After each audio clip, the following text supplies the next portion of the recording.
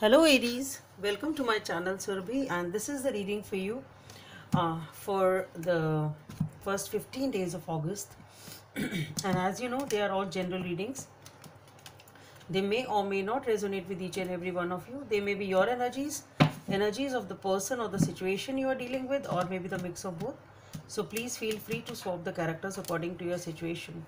And if this reading does not resonate with you, please check your moon sign and the name sign. And for the personal reading, the details are given in the description box below.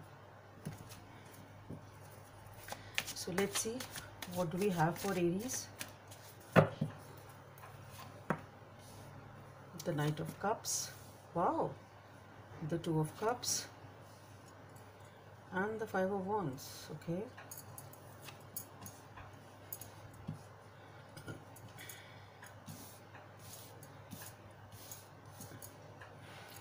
The Hierophant, the Fool,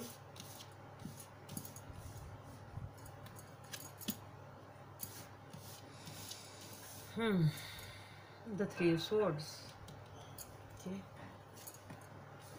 the High Priestess,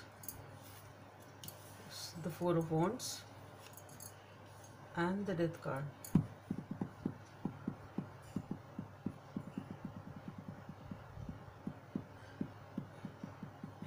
Okay.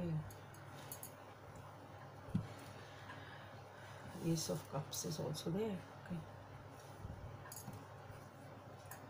And the Sun. So let's see what are the messages from this deck for Aries. High Priestess once again. Okay. Guidance from the universe.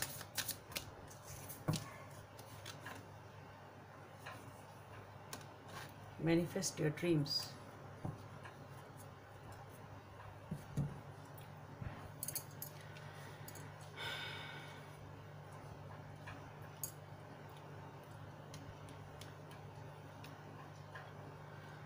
Okay, so let's get started. Aries, what I see here is that there is a beautiful connection. You've started off with a very beautiful connection. You're offering love to someone, coming into a beautiful relationship it's uh, beautiful in every way very balanced trustworthy everything is there honesty and everything. Now here there was some disagreement. Okay some conflict some argument some disagreement whatever it was but there was something over here. But it was perhaps not that uh, serious and you just got over it. Okay so both of you perhaps uh, dealt it with it in such a way that it was okay. And then following that is the hierophant and the fool card. So what i think here is that perhaps this this disagreement can be on uh, the issue of a commitment. Perhaps uh, perhaps it was a hard time convincing the, your partner for commitment or marriage or maybe other people uh, in your uh, relation perhaps it can be that but there is some sort of disagreement within you both or with the other party. But yes there is there. But then it is followed by the hierophant and the fool card. So what i feel here is that it is followed by a commitment perhaps even a marriage for some of you and a new beginning. Okay. But though you have been married or you are in a stable relationship or a committed relationship and you have started a new life but with the Three of Swords, there is something which is still troubling you. There is something which is still troubling you deep within. Something is some something is there which is a cause of a cause of heartache for you, and this can be this whatever this cause of disagreement was with the Five of Wands. Okay, so whatever this cause was, though perhaps it has been sorted out and you have uh, started a new beginning or this new relationship, but the, eh, the, that energy is still there. There is a there is deep grief deep uh, so there is a deep agony in your heart over here. You you're not over it. Maybe you're not showing it to others but it is there. Something which is uh, literally piercing your heart. You're very very troubled on this thing whatever this cause of disagreement was. I feel this is the same issue maybe for some of you it was hard convincing your parents for this connection. It can be that also. I, i'm getting it. So i'm putting that story out there. So for some of you it can be that also. Maybe it was hard to convince your parents for that for this new beginning. And maybe you were not even able to convince and maybe that uh, uh, this disharmony is still lingering on. Or if it was amongst you then that thing is still there. It's not been sorted out at heart basically that thing is still there. That's what i'm trying to say. Even if it is sorted out but you you, you have that pain at least. That's what i'm saying. That pain is still there. And with the high priestess and the four of wands what i see here is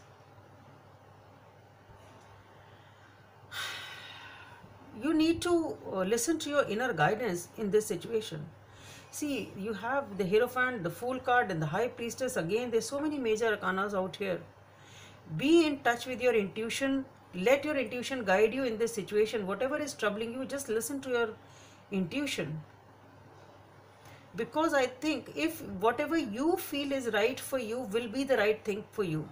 Because it is it, it is giving you with the four of wands. I see here it is again a stable and a happy i see you happy over here okay this is a stable connection this is a family a happy family. So maybe if you follow your intuition and go slow don't try to take rash decisions in whatever the situation is then it will be uh, you will be able to perhaps uh, deal with it in a better way it can be a power couple whosoever you are dealing with with the high priest uh, priestess and the hierophant out here. Maybe i'm talking to a power couple over here.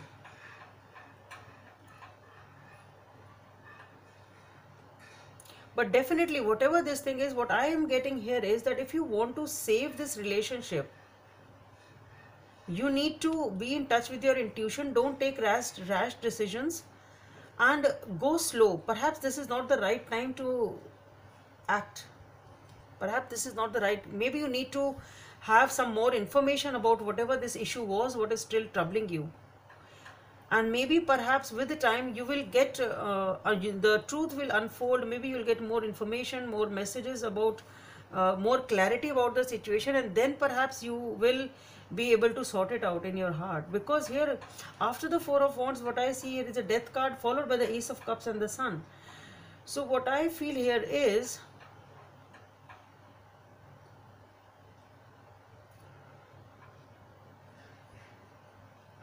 your intuition and your inner guidance is going to save this relationship. If you are able to deal with it wisely.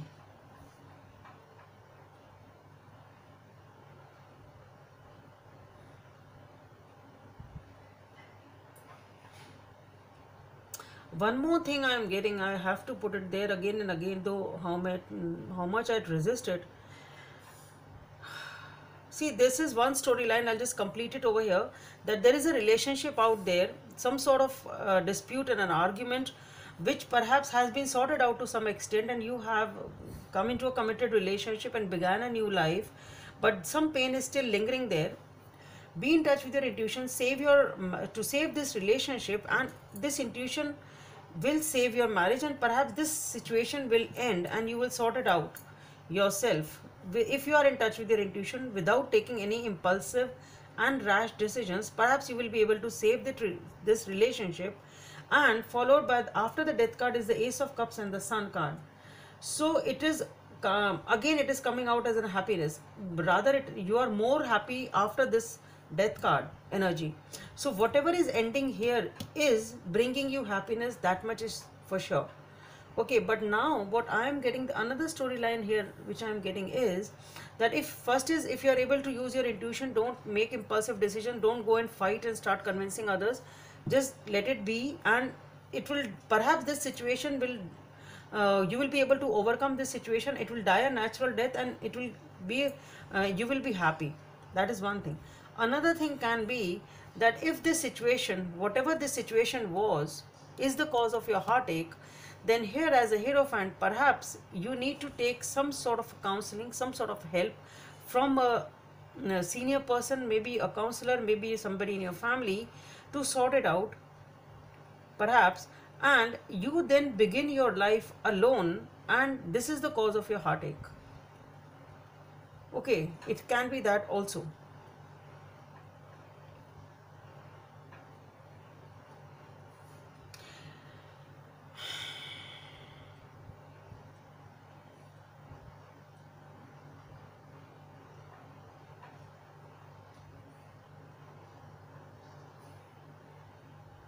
you have to if you want to save this relationship you have to be in touch with your intuition again and again. That is a major part which i am getting here.